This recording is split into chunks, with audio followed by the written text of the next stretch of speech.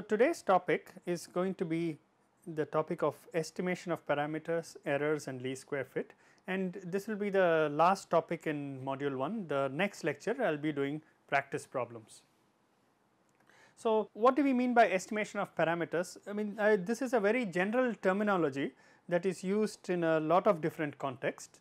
Now, uh, in fact, uh, what I have said is that when we calculate things like average and standard deviation of a certain set of data, then uh, this is something that we are implicitly doing. We are estimating the parameters of the overall distribution assuming some form of distribution. For example, you might be assuming a Gaussian distribution. So, the Gaussian so, so if you assume that your data is distributed as a Gaussian, then uh, the Gaussian distribution has the parameters this is the average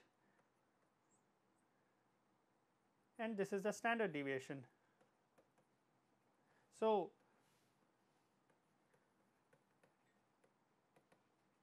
so these are parameters of the distribution. So, the distribution p of x has these two parameters x 0 which is the average and sigma which is the standard deviation.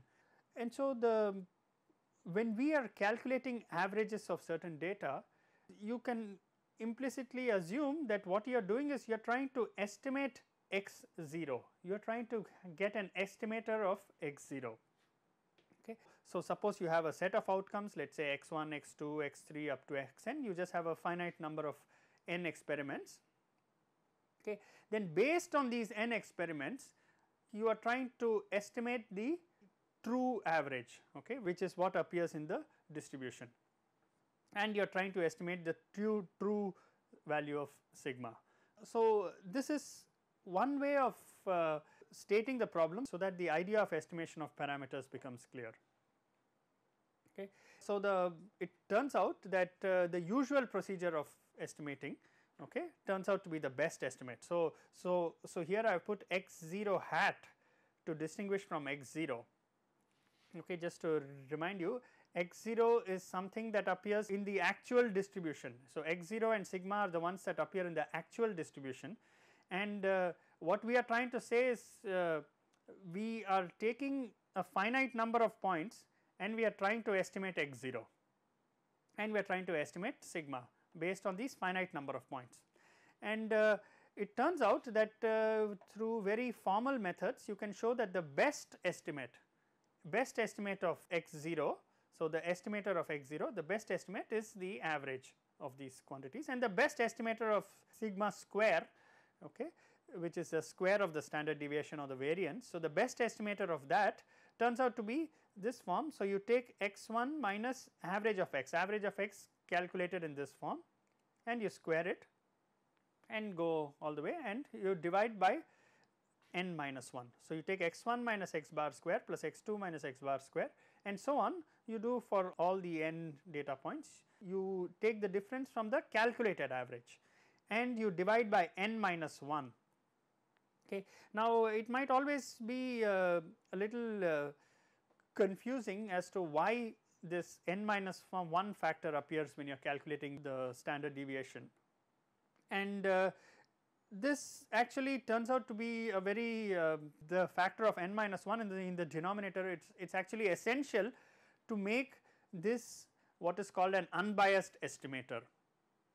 Okay. So, uh, if you take n then formally it becomes a biased estimator, but uh, so formally you should take n minus 1. Of course, if your n is very large then n and n minus 1 are almost the same, so it does not matter. But uh, formally this should be n minus 1 in order to make this an unbiased estimator. So, uh, again let me emphasize that we are differentiating we are putting a hat on top of x 0 or uh, all these hats that are there on top of x 0 and, and uh, sigma square these emphasize that these are estimators.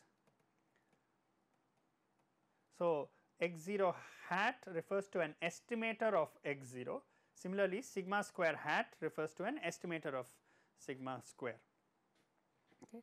and uh, this is not the same as x 0 this is not the same as sigma square. Okay. So, sigma square is something that appears in the actual distribution and so does x 0 something that appears in the actual distribution and they should be distinguished from the estimators of, of these quantities. Okay. So, now let us come to this uh, we said that the factor of n minus 1 in the denominator is essential to make sigma square an unbiased estimator okay and uh, we want we will see that we will see why that is so in a in a few minutes. But uh, before that uh, let us define this quantity called the expectation value. So, the expectation value of any of any quantity or a function is based on the true distribution. So, suppose f of x is some function of x okay and x the quantity the variable x the random variable x is distributed according to p of x okay. So, if p of x is the distribution of x and f of x is some function of x then what is the expectation value of f of x and that is given by this integral. So, you integrate f of x p of x dx from minus infinity to infinity. Here I have taken the specific case where the range of x is minus infinity to infinity and I have also considered the specific case where x is a continuous variable. You can do this for a discrete variable also where you will not have an integral, but you will have a sum in the case of discrete variables. So, suppose you had discrete variables then then what you would have is uh, this estimator of f of x would look like would look like sum over j equal to 1 to all the allowed values uh, if you you might go all the way to infinity and what you will have is uh, p of x j times f of x j. So, it would look like that. Okay. So, in the case of discrete you will have uh, instead of having an integral you will have a sum and everything will, will work out exactly the same way. Okay. Similarly, now let us look at the estimator of sigma square we said is x 1 minus x 1 bar square x 2 minus x 2 bar square x bar square and so on. Notice again that I have used x bar and not x 0, x bar is the actual average that is calculated from the n readings okay and we said that this, this should be divided by n minus 1 and uh, what you can say is that uh, what does it mean I said a few minutes ago that uh, sigma square this is an unbiased estimator. So, um, what does it mean to say that the estimator is unbiased? The estimator is unbiased if the expectation value of sigma square estimator if the expectation value of the estimator is equal to the sigma square. So, the expectation value of the estimator of sigma square should be equal to sigma square only then the estimator is said to be unbiased. Okay. So, now we can go ahead and we can calculate the expectation value of sigma square. So, uh, you can just go ahead and you can so, what we will try to prove is that the estimate uh, the expectation value of the estimator of sigma square is equal to sigma square and that will make it an unbiased estimator. So, the proof of that is uh, not very difficult and so for example you can this should be a square bracket.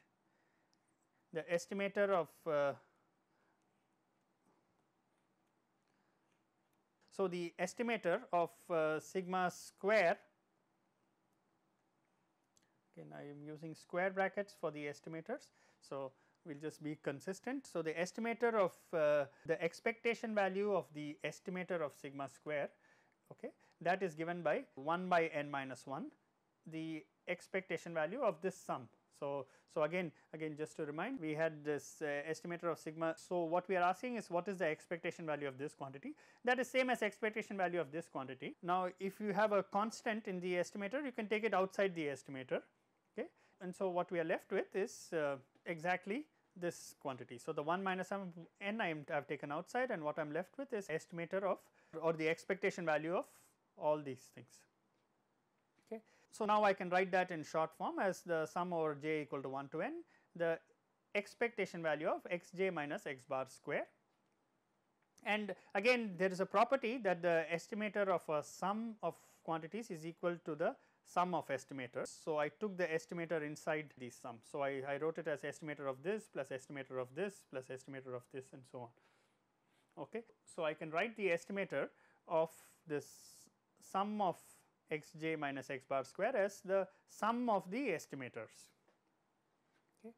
And what I do is I do a little trick I write this as x j minus x 0 minus x bar minus x 0. So, I am adding and subtracting x 0 So, if you add and, and subtract x 0 from this expression then you can write it in this form. And uh, now you can go ahead and uh, you need to you can expand the square. So, if you expand the square you will get 3 terms and uh, you can again take the ex, the expectation value of this of the sum as the sum of expectation values. Okay. And uh, after this there are a few steps in this derivation. Okay. But basically you can show that uh, this whole thing works out to n by n minus 1 times sigma square minus expectation value of x minus x 0 square of x bar minus x 0 square. x bar is the calculated average okay, and this is the true average. And uh, this quantity you can show is just sigma square by n.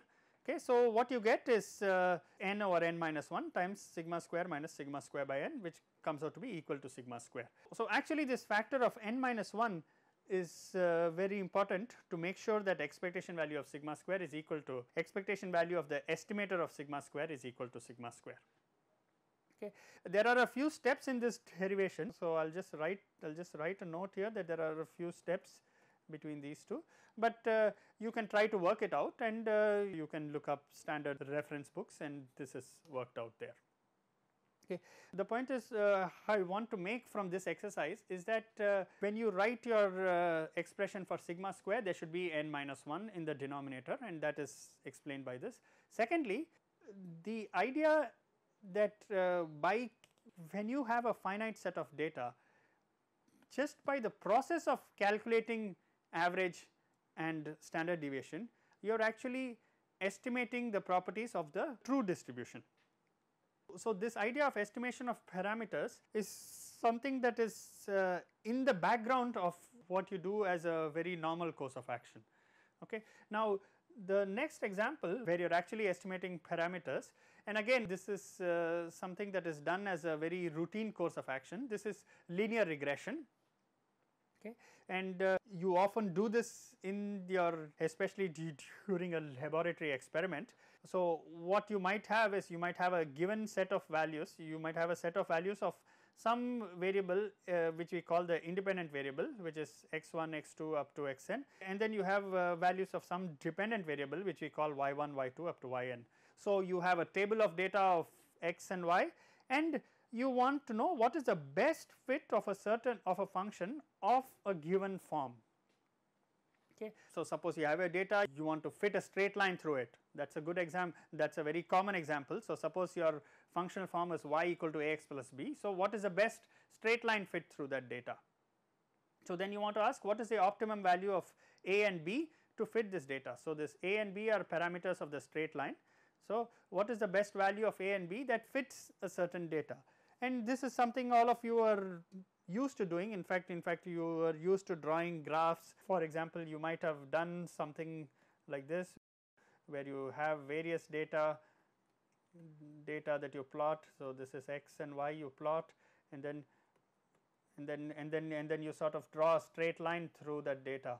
And uh, so the question is how do you choose how to draw the straight line? Should you draw it this way or should you draw it or should you draw it this way or should you draw it some other way how do you decide so the best choice of the straight line fit through that data is what this question asks okay but what is important to say here is that if you are just given data then uh, you can fit it to a straight line, you can fit it to some parabola, you can fit it to an exponential, you can fit it to various functional forms. Okay. And this process of estimation of parameters will say that suppose I fit it to a certain form what is the optimum value of parameters. So, given that you fit this data to the form y equal to ax plus b which is a straight line. So, given that you fit it to this form okay, what is the best choice of a and b.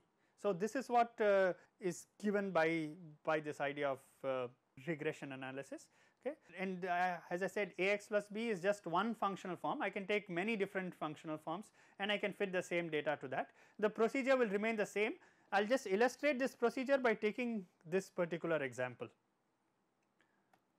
So, uh, how do you implement this procedure? So, according to this procedure what you are supposed to do is to you choose values of a and b. So, you choose your a and b such that they minimize some error estimator. Okay. And uh, the I will not go into the details, but the error estimator that is minimized is given by delta square which is a square error. So, what you do is you take y j that is y at a certain data point and you subtract it from a times x j, x j is the value of x at that point plus b okay, and you square this. Okay. So, if all the points were exactly on the straight line then this, this would be exactly 0 okay. But if the points are not on the straight line then uh, each of these would be non-zero you square it so you get a positive quantity. So, you sum all these you will get some positive quantity and what you try to do is you try to minimize this square error okay that is a procedure. Now what can you vary to minimize? You minimize it with respect to a and b. So you choose your value of a and b so that delta square is actually minimized okay. So that is the formal solution and uh, as I said you can do this uh, I am illustrating this for a linear fit where uh, y is uh, where I am fitting the data to a straight line. I could also do this for some other functional form and whatever the parameters of that function are that is what will enter into this. So, if you want to minimize this quantity with respect to a and b then you should have that uh, first derivative with respect to a and first derivative with respect to b both should be 0 okay and uh, you can calculate the first derivatives by expanding these quantities and so, so on. I will not go into the details, but what these two will give you is these will give you two equations. So, this will give you one equation, this will give you another equation. So, each of these derivative conditions will give you an equation. So, the first equation I am writing in this form, I just uh, rearrange terms and I can write this as a times the sum over j equal to 1 of x j square. So, you sum the squares of all the values of x and then uh, you have a minus b times sum over j equal to 1 to n of x j okay and this should be equal to sum over j equal to 1 to n of y j x j. Similarly, if you take a times sum over j equal to 1 to n of x j minus b times n okay, then you should get sum over j equal to 1 to n of y j. So, it turns out you can work this out I mean based on these conditions you can easily work out uh, both of these and I encourage again I encourage all of you to work these steps okay. So, work work this out. So, what you get from this is that you get two equations okay and uh, you know all the xj's you know all the yj's. So, you know all these sums all these sums are known and so you just have two simultaneous equations for a and b and you can work out the values of a and b. So, you can solve these and you can get the values of a and b and this once you know the values of a and b you know how to draw your line. Okay. So, this is a process of linear regression and as I stated okay I can take other functional forms for example I can take another functional form for example y equal to e to the a x I can take a functional form like this and if I, if I want I can put a b b e to the a x. So, I can I can do the same thing I just replace instead of axj plus uh, b I will have uh, b e to the axj and I can just go through the same exercise and I can get okay. So, you can apply this procedure to any function and uh, you need not have only two functions you can have three functions.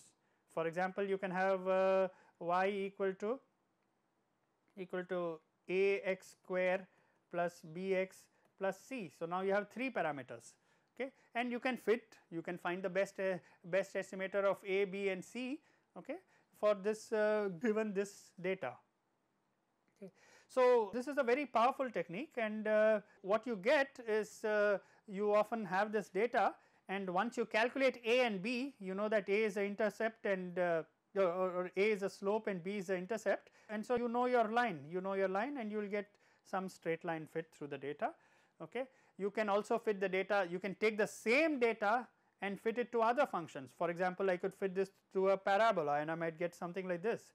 So, what the estimation of parameters or linear regression will tell you is what is the best choice of parameters for a given functional form. So, suppose you want to fit it to ax plus b then what is the best choice of a and b. Suppose you want to fit it to a parabola what is the best choice of the parameters of the parabola.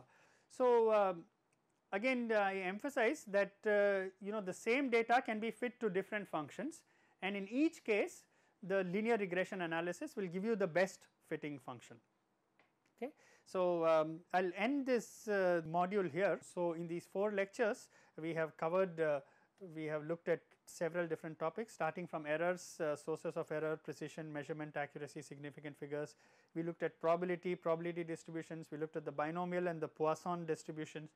Then we looked at the Gaussian distribution and we calculated integrals and averages and then and then we, we, we saw the process the procedure of estimator of parameters where we talked about uh, errors and we talked about the least square fit method. So, so uh, I hope uh, through all these uh, steps I mean there is an underlying theme that is there in all these is that uh, you imagine that your experimental results or your data is some sort of random variable that is distributed according to some distribution and once you have that underlying uh, picture then all these procedures are uh, they follow very naturally. Okay. So, in the next lecture what I am going to do is I am going to do a few practice problems on these topics. Okay. So, that will be for the next lecture. Thank you.